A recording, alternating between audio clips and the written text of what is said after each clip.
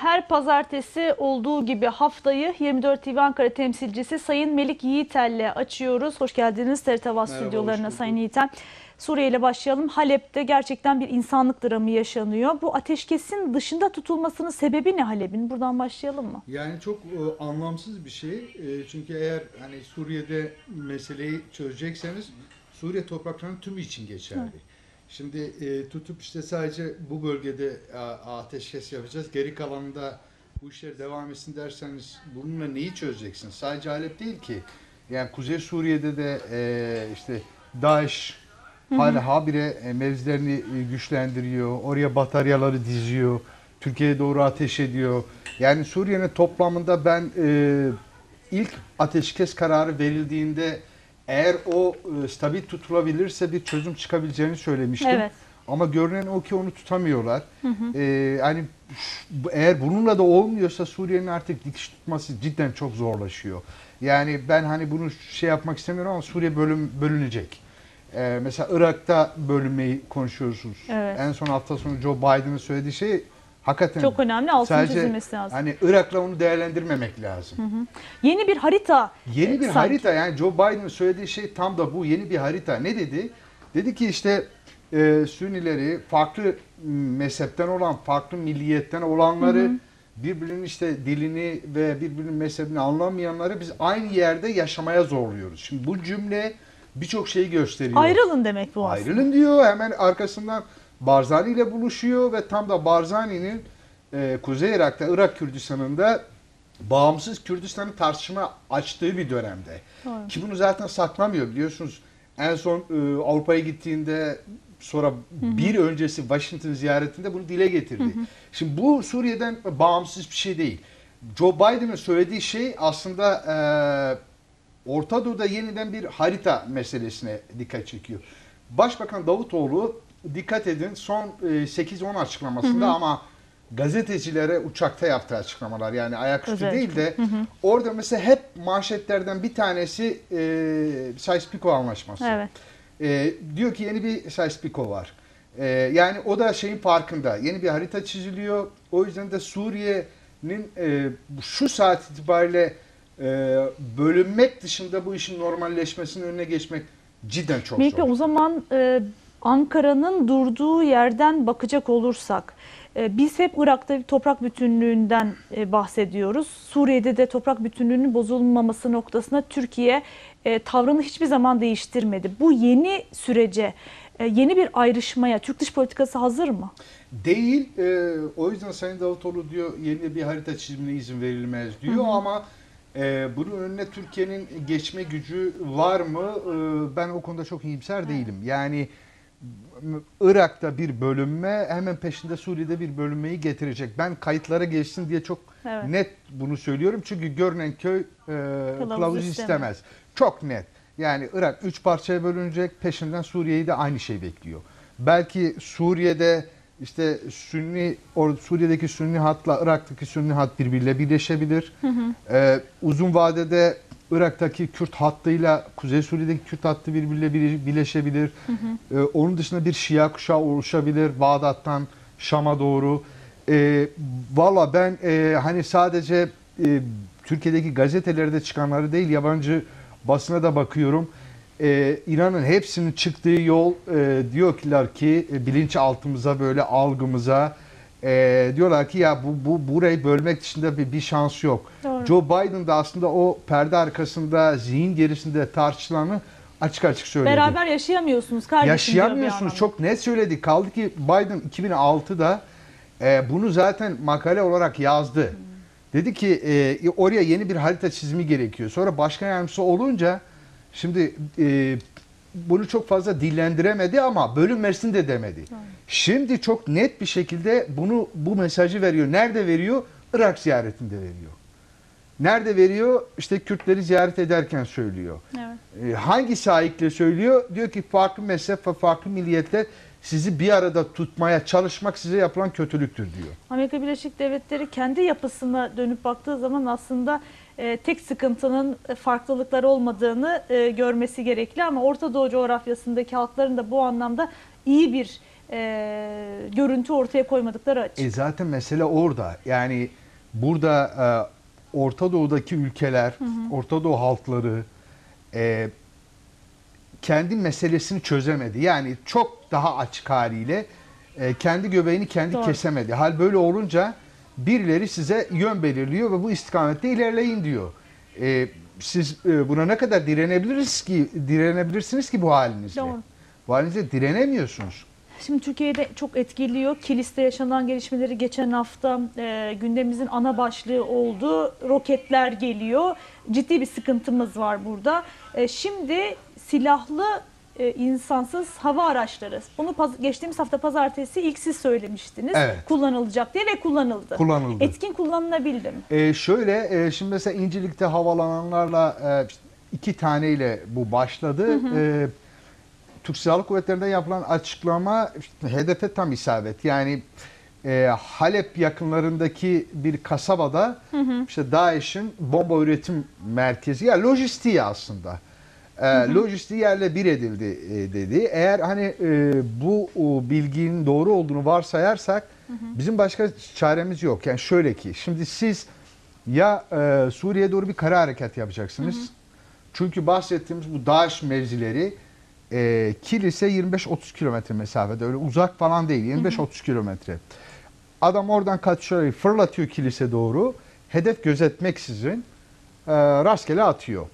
Nereye E, gittiğini de çok bilmiyor. Yok onun o, o umurunda da değil zaten. O amaç onu size zaten paniğe sevk etmek, gücünü size göstermek. Bunu yapmaya çalışıyor. Şimdi siz kara harekatıyla gidip ona haddini bildiremiyorsunuz. Yerle bir edemiyorsunuz çünkü kara harekatın gücünüz yetmediği için değil.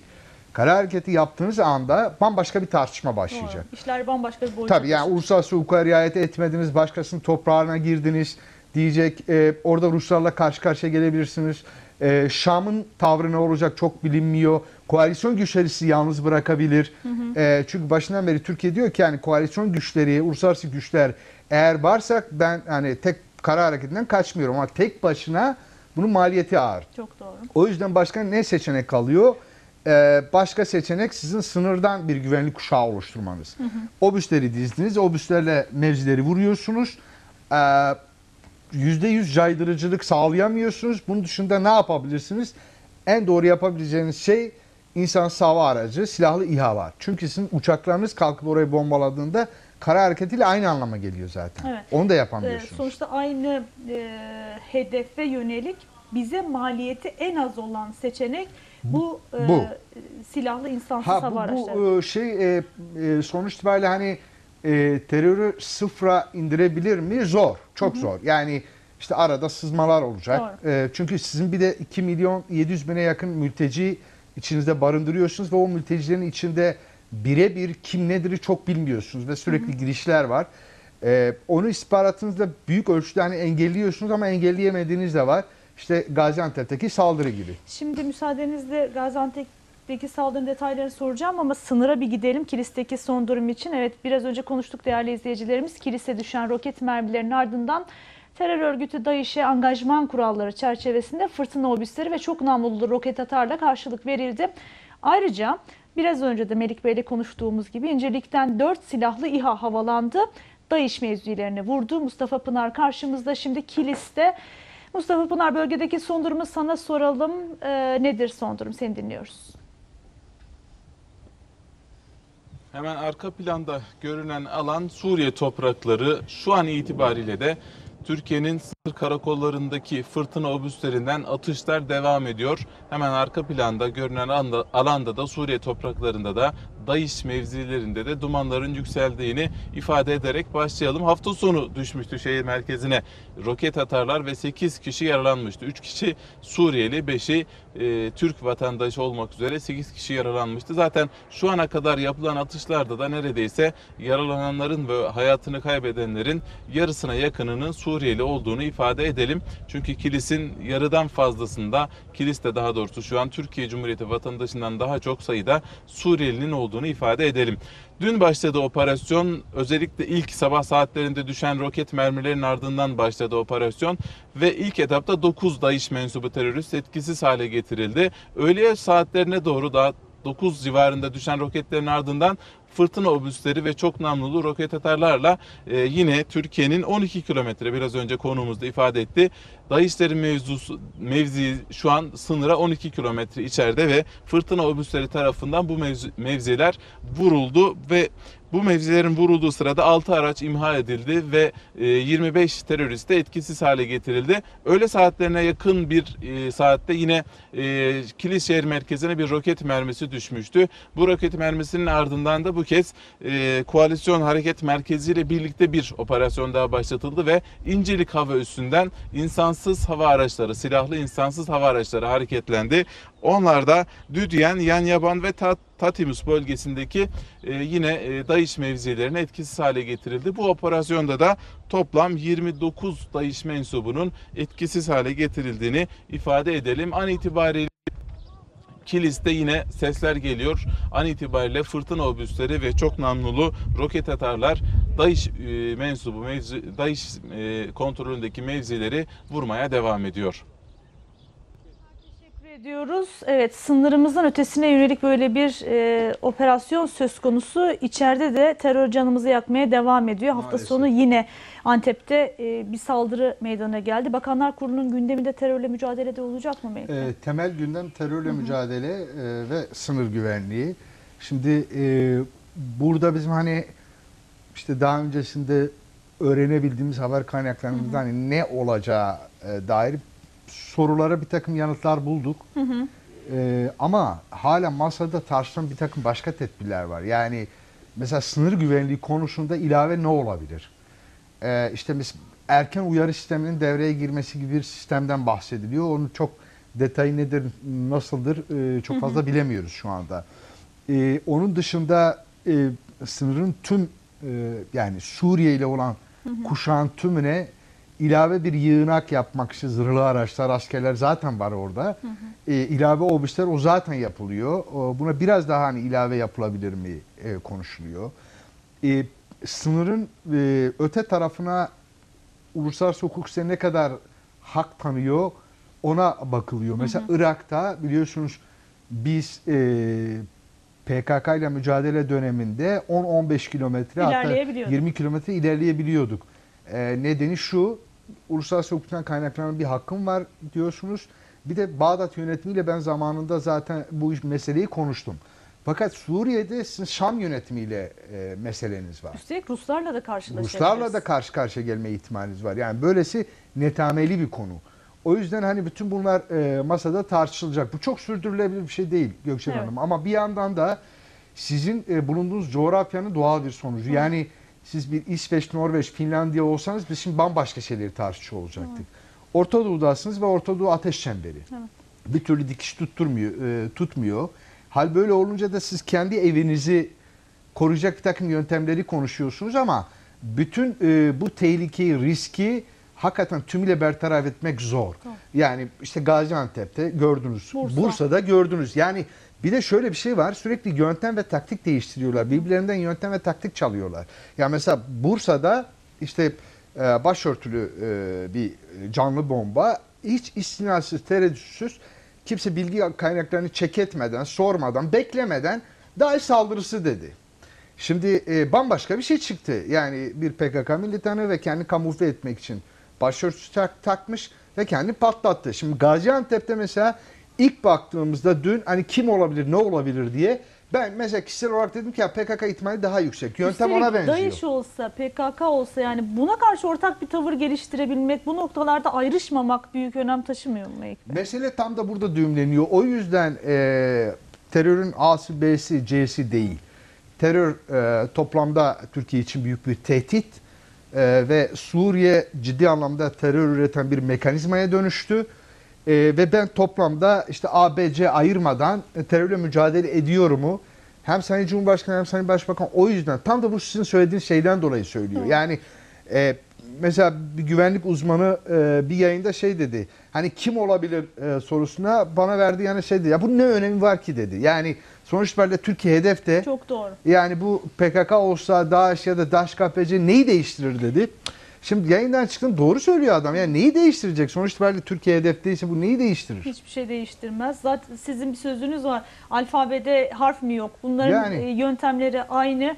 E, sonuçta terör örgütü olarak aynı torbanın içerisindeler ve hepsine aynı tepkiyi vermek zorundayız. Tıpkı uluslararası kamuoyundan Aynen. beklediğimiz gibi dokunulmazlıkları da sormak istiyorum size. Çünkü konuyu en yakından takip eden gazetecilerden birisiniz.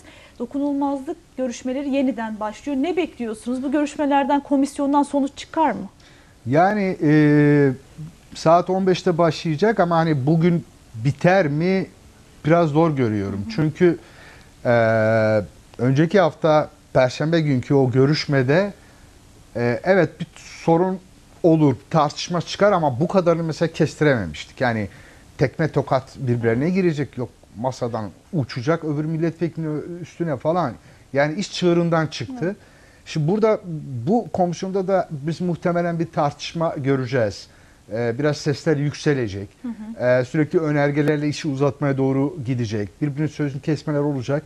Ama bir önceki toplantı gibi ben olacağını ihtimal vermek istemiyorum. Çünkü hakikaten böyle oturup mesela kendilerini dışarıdan izleseler e, onlar da utanacak. Çok. Yani e, koca koca adamlar bunlar milletvekili biz vekalet vermişiz. Hadi git beni orada temsil et.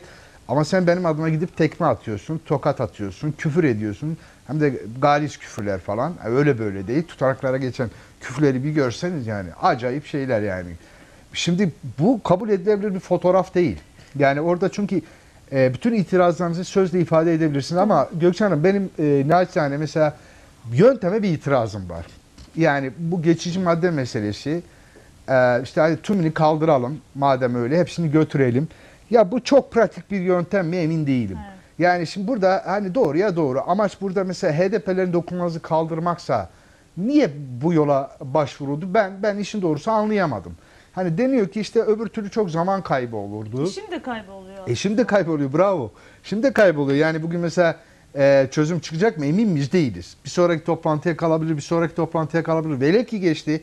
Genel kurulda bu kadar kolay geçecek mi? Bir. ikincisi buna ne gerek var? Yani bir şey yapıyorsanız buna adını koymak lazım. Yani ben işte HDP'lerin dokunmazlığını eğer amaç, niyet kaldırmaksa bunu doğru da söyleyin ya. Bunun siyasi faturası varsa da bunu da göğüsleyin. Doğru.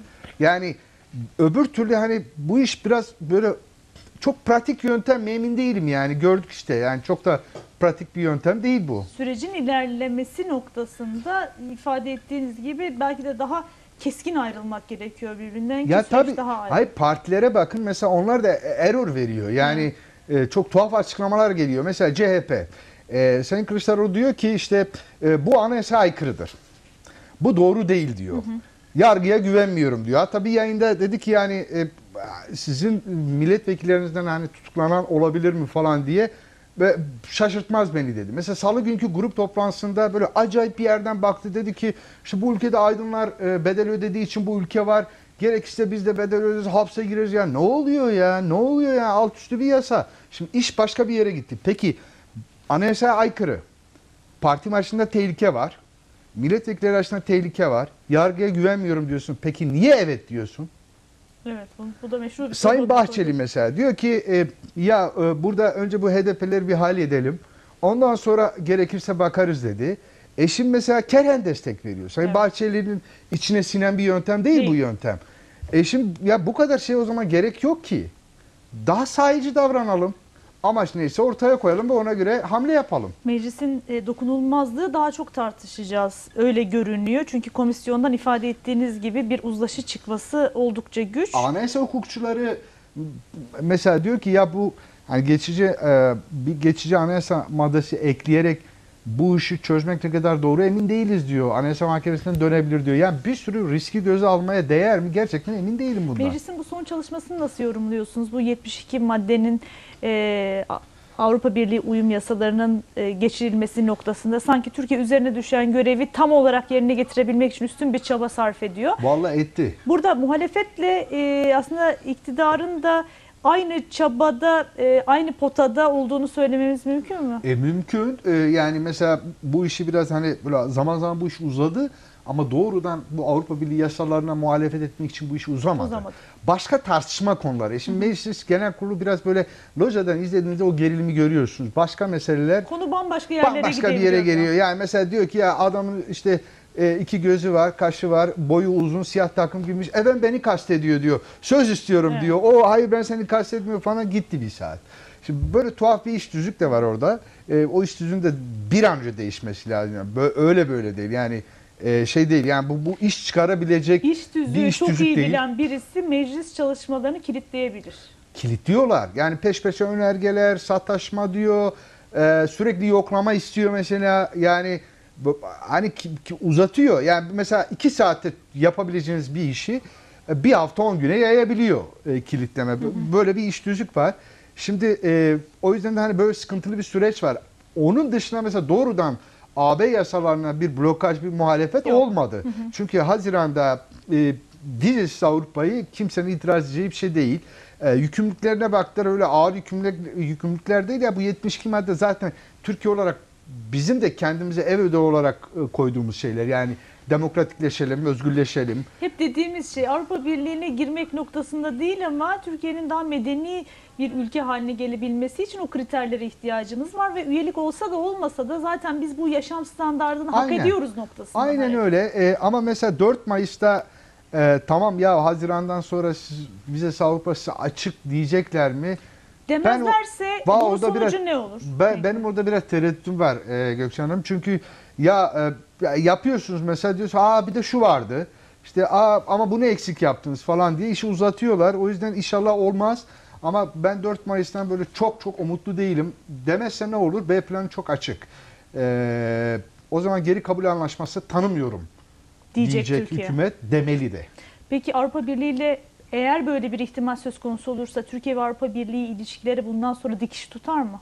Ee, çok ciddi anlamda sorun yaşar çıkmaza girer. Çünkü bu iş e, yani Brüksel'deki o toplantı ve sonrasında verilen bu kararlar yani işte bu 72 maddeyi çıkarın e, biz size vize Avrupa e, yolunu açalım demeleri aslında Avrupa Birliği'nde de yeni bir süreç başladı. Yeni bir dönem başladı. Yani uzun süredir gelgit yaşayan, ara verilen o ilişkiler canlandı. E, yani böyle şiddetli geçimsizliğin ya- yaşandığı bir evlilikte yeni bir, aşk ve Doğru. bahar dönemiydi o. E, tekrar bu olursa yeni bir sıkıntı, yeni bir kriz ve yeniden Avrupa Birliği'nin ilişkilerinin buzdolabına kaldırılması söz konusu. Bunun olmamasını dileyelim. Çok İnşallah. teşekkür ediyoruz Ben yayınımıza teşekkür katıldığınız. ediyorum. Hem Bakanlar Kurulu'nun sonucunu hem bu dokunulmazlık görüşmelerini hem de Avrupa Birliği ile yaşanan süreci gelecek pazartesi tekrar değerlendirelim. Sağ olun Sağ olun. katıldığınız için. Evet, epey önce devam ediyoruz değerli izleyicilerimiz.